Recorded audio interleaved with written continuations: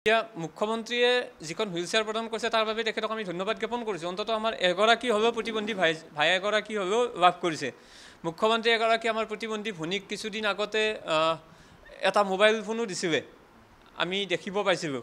হয় এজন এজন হৈছে। কিন্তু সকলোতকৈ ডাঙৰ কথা হ'ল মুখ্যমন্ত্ৰীগৰাকীয়ে দুহেজাৰ বাইছ চনৰ একৈছ চনৰ তিনি ডিচেম্বৰৰ দিনাখন ৰাজহুৱাভাৱে ঘোষণা কৰিছিল যে পঞ্চাছ হাজাৰ ব্যক্তিক হুইল চেয়াৰ দিয়া হ'ব। এই ক্ষেত্ৰত আমি বাৰম্বাৰ মুখ্যমন্ত্ৰীগৰাকীক স্মাৰক পত্ৰ দিছিলোঁ যে পঞ্চাছ হাজাৰ নালাগে।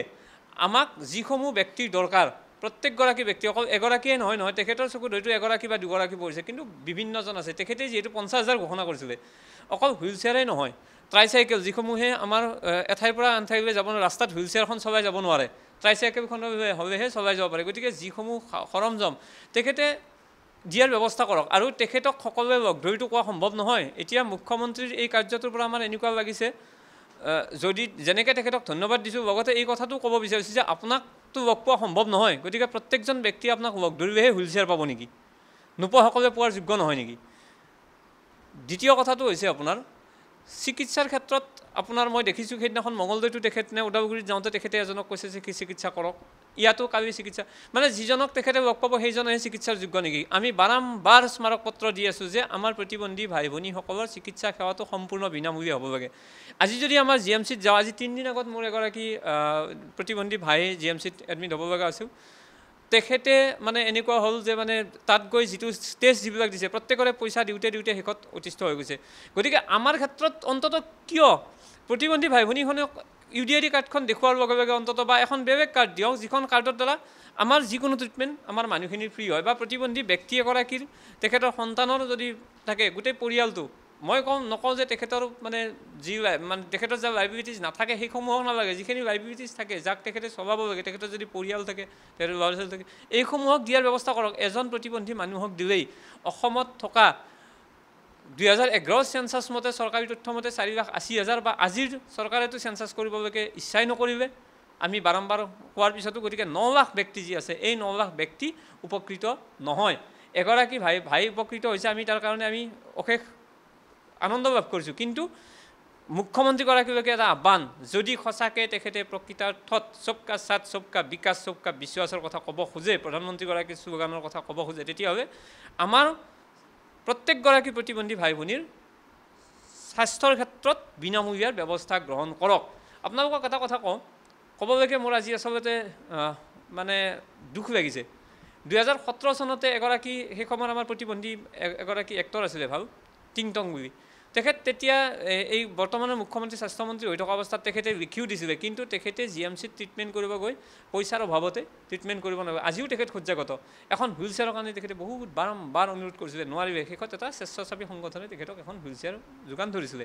গতিকে সেইকাৰণে মুখ্যমন্ত্ৰীগৰাকীক কৈছোঁ প্ৰত্যেকগৰাকী ব্যক্তিয়ে আপোনাক লগ ধৰা সম্ভৱ নহয়।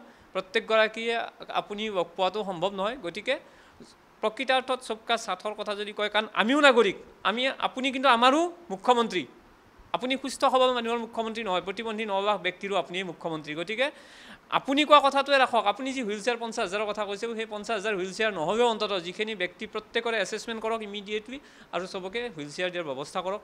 দ্বিতীয় কথাটো স্বাস্থ্যৰ ক্ষেত্ৰত আমাক সকলো ব্যক্তিকে আমাৰ প্ৰতিবন্ধী ব্যক্তিসকলৰ স্বাস্থ্য সেৱাটো বিনামূলীয়া কৰাৰ চেষ্টা কৰক। হয়।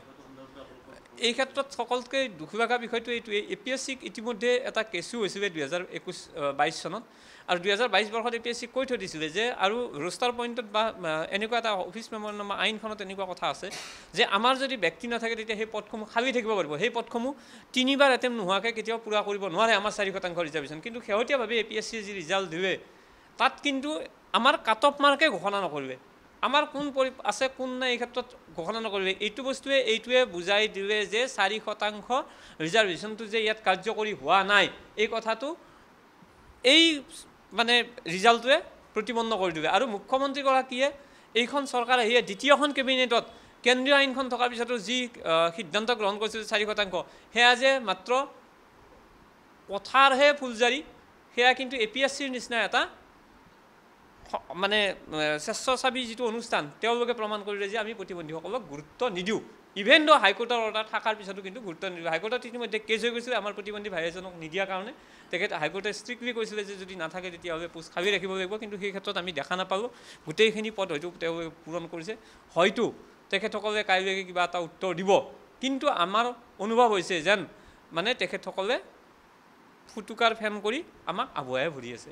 লগতে আৰু এটা বিষয় আপোনাক যিহেতু নিযুক্তিৰ ক্ষেত্ৰত কথা এটা ওলাইছে মই আপোনাক নক'লে বেয়া কথা হ'ব। যিহেতু ছাব্বিছ হাজাৰ নিযুক্তিৰ ক্ষেত্ৰত যেতিয়া পদ পদসমূহৰ ক্ষেত্ৰত পদ পূৰণৰ কাৰণে ফৰ্ম ফিল আপ কৰিব লগা হৈছিলে পদসমূহ আবেদন কৰাৰ কাৰণে তেতিয়া আমাৰ এছ চি এছ টিৰ মানে মাচুলটো ৰেহাই আছিলে কিন্তু আমাৰ মাচুলটো ৰেহাই নাছিলে। আমি আন্দোলনৰ কাৰ্যসূচীও লৈছিলোঁ। আমাৰ লগত আমাৰ বিভাগীয় মন্ত্ৰী পি হাজৰিকা ডাঙৰীয়াৰ এখন মিটিং হৈছিলে। মিটিঙৰ মাজৰ পৰাই তেখেতে ফোন কৰিছিলে মুখ্যমন্ত্ৰীগৰাকীক। ছাব্বিছ হাজাৰত আমাৰ কিমানটা পদ আছিল সেয়া স্পষ্ট কৰা নাছিল। আৰু আমাৰ মাচুলসমূহ ৰেহাই কৰি দিয়া হ'ব বুলি তেখেতে কৈছিলে। কিন্তু আজিলৈকে সেয়া হৈ নুঠিল। কিয় আমাৰ মাচুলখিনি ফ্ৰী কৰি যদি দিব নোৱাৰে আমাৰ মানুহবিলাক কেনেকৈ এপ্লাই কৰিব? তেখেতৰ কাৰণে কাৰোবাৰ কাৰণে হয়তো এহেজাৰ টকা পাঁচশ টকা দুশ টকাৰ মূল্য নাথাকিব পাৰে। আমাৰ মানুহ এজন কিন্তু দহ টকাৰ কাৰণেও আমাৰ মানুহে চিঞৰি থাকিব পৰালগীয়া হয়। যাৰ কাৰণে আমাৰ বহুতো মানুহে এপ্লাই কৰিব নোৱাৰিলে। শেহতীয়াভাৱে বিহু অনুষ্ঠিত কৰিলে চৰকাৰখনে। এশ কোটি টকা খৰচ কৰিলে। আমি গৌৰৱান্বিত অসমীয়া হিচাপত। যে বিহুটো অসমত এনেকৈ পাতিছে। কিন্তু এশ কোটি টকা খৰচ কৰি যিধৰণে বিহু পাতিব খুজিছে আমাৰ পেঞ্চনটো দীনদয়াল দিব্যাংগ পেঞ্চন আঁচনিত মাত্ৰ এশ আঠষষ্ঠি কোটি টকাহে বাজেট লাগিছিলে। সেই এশ আঠষষ্ঠি কোটি টকা বাজেট কিন্তু এইবাৰ আমাৰ বিভাগক দিয়া নাই যাৰ বাবে এই মাহত আমাৰ পেঞ্চনটো বন্ধ হৈ পৰিছে। অৰুণোদয় দিয়া বুলি তেখেতসকলে কৈছে কিন্তু আইনখনৰ চৌব্বিছ নম্বৰ দফাটো চাবলৈকে মুখ্যমন্ত্ৰীগৰাকীক মই আহ্বান জনাইছোঁ অনুৰোধ নজনাওঁ আৰু এতিয়া। আহ্বান জনাইছোঁ আপুনি চাই ল'ব আপুনি পঢ়া শুনা কৰা মানুহ। সমীক্ষা মতে ওলাইছে ভাৰতবৰ্ষৰ ভিতৰত সকলোতকৈ বহুত পঢ়া শুনা কৰা লিষ্টৰ ভিতৰত আপুনি গতিকে আপুনি মোতকৈ ভালকৈ আপোনাৰ জ্ঞান আছে। আপুনি আইনৰ চৌব্বিছ নম্বৰ দফাটো চাব তাত কি লিখা আছে? আমি কি ধৰণে পাব লাগে? আমি অন্যতকৈ আমি পঁচিছ শতাংশ বেছি পাব লাগে। যি স্কিম চলি থাকে ষ্টেটত তাৰ ভিতৰত চৌব্বিছ নম্বৰ স্পষ্টভাৱে কৈ গৈছে যে মানে এখন ৰাজ্যত যিটো স্কিম চলি থাকে তাৰ স্কিমৰ ওপৰত আমি পঁচিছ শতাংশ বেছি পাব লাগে। গতিকে অৰুণোদয় আঁচনি যদি অসমত চলি আছে বাৰশ পঞ্চাছ টকা তেতিয়াহ'লে আপুনি আমাৰ পেঞ্চন দুহেজাৰটো নকৰিলেই। সেইটো বাদ দিয়ক। কিন্তু যদি আমাৰ স্কিমটো চলাব খোজে তেতিয়াহ'লে আমাৰ মানুহজনে পোন্ধৰশতকৈ ওপৰত অধিক ধন পাব লাগে।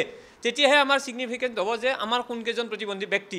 গতিকে কাইলৈ অৰুণোদয় বন্ধ কৰি দিব আমাৰ মানুহসকলো। এই আইনগতভাৱে পোৱা অধিকাৰটোৰ পৰা বঞ্চিত হ'ব। গতিকে আমি এক মাৰ্চৰ দিনাখনেই আপোনাক এটা কাৰ্যসূচীৰ যোগেদি আমি স্মাৰক পত্ৰ দিছিলোঁ।